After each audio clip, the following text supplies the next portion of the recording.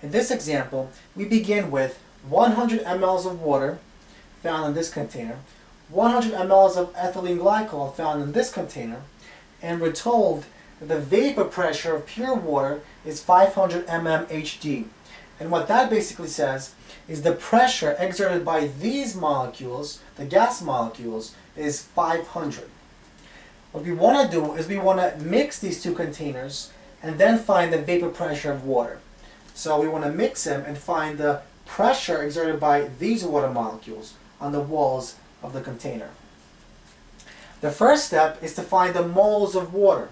The second step is to find the moles of ethylene glycol. And a third step is to use the formula to find vapor pressure. Now in the first step, before we find the moles, we first have to find the amount in grams of water.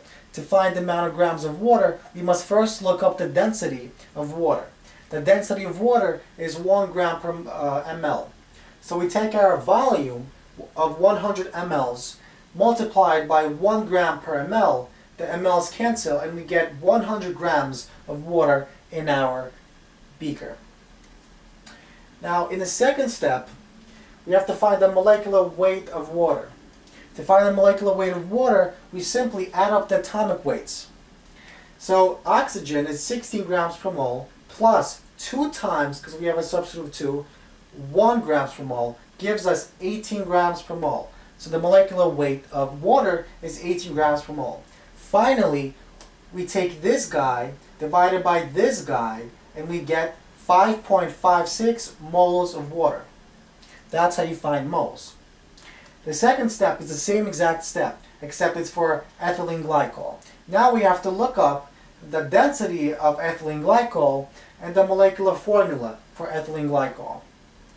So we follow the same exact steps, 100 milliliters, because we have 100, times 1.15 gives us, the mLs cancel, 115 grams of ethylene glycol. So a little bit more than water. Our second step is to find the molecular weight of ethylene glycol. We, uh, we follow the same exact step. We add up the atomic weights and we get 62 grams per mole. Finally, to find the moles, we take our amount in grams divided by our molecular formula and we get 115 divided by 62 equals 1.85 moles of ethylene glycol. Finally, we use our formula to find the vapor pressure of the water molecules in this system.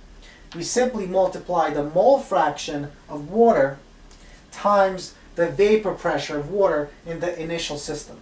And that is 5.51 divided by the total number of moles, the mole fraction, 5.56 plus 1.85 gives us some fraction.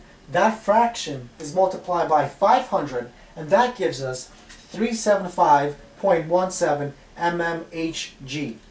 And that's the vapor pressure of these water molecules. Now it should be less, and that's because we have less water molecules on the surface because now we have ethylene glycol molecules on the surface. And so less water molecules are evaporating, and that means the vapor pressure of water in the new system should be less, and it is less.